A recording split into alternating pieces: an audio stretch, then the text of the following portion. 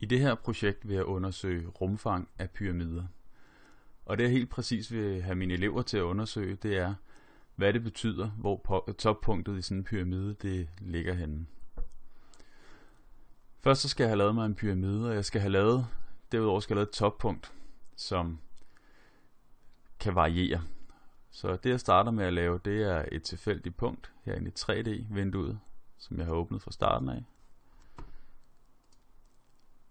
Og øh, for at få det til at rykke opad, så kan jeg klikke en enkelt gang på punktet, så kan jeg få lov til at rykke det i en anden orientering. Og når jeg så er heroppe, så kan jeg få lov til at rykke det øh, i XY-orienteringen. Øh, og det kan man ændre med et enkelt klik på punktet med venstre museknap. Så nu har jeg altså et svævende punkt A her. Øh, det kan egentlig godt se ud som om det ligger i XY-planet, men det er faktisk, hvis man hiver lidt rundt her i sit visningsvindue, ved at holde højre knap nede på musen og bevæge øh, skærm, øh, hvad hedder det, musen, så kan man sådan se, at det faktisk ligger og svæver op i luften, når man kommer rundt om det.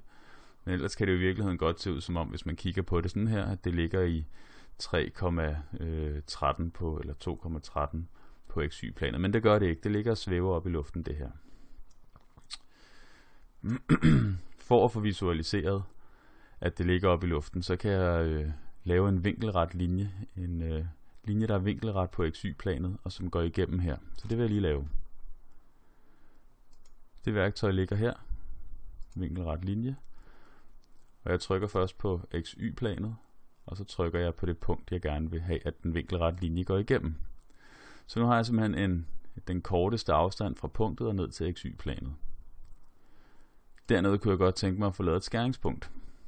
Så jeg vil godt have et skæringspunkt mellem den her og mit XY-plan.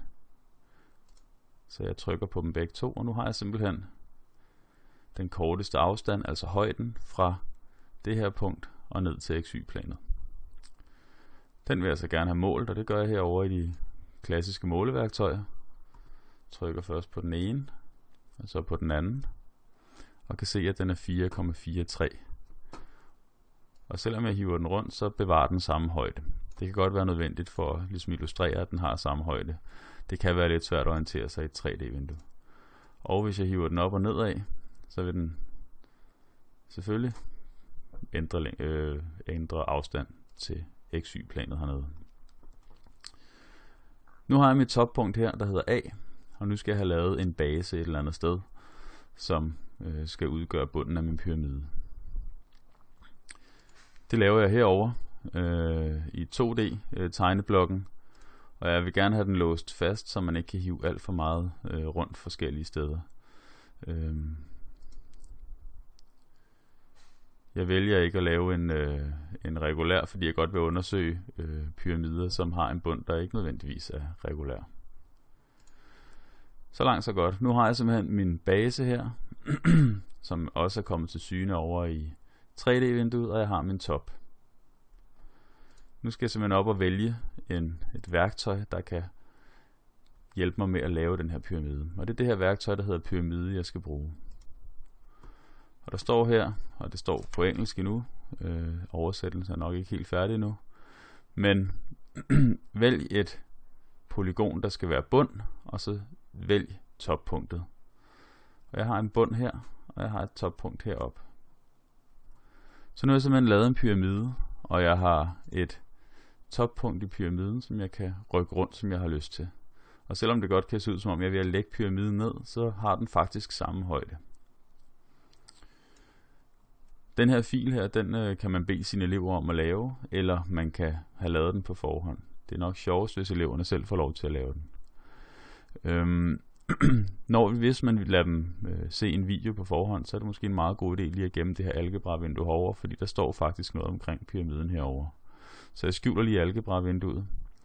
Øh, og så er det jo selvfølgelig, så skal eleverne jo selvfølgelig ind og vælge rumfangsværktøjet og øh, trykke på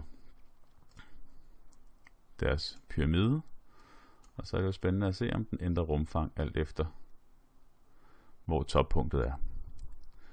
Og det her, det er jo for med et, hvad hedder med et kvadrat som bund. Det kunne være interessant også at se, om det samme gør sig gældende med andre figurer som bund. Nu er rumfanget 50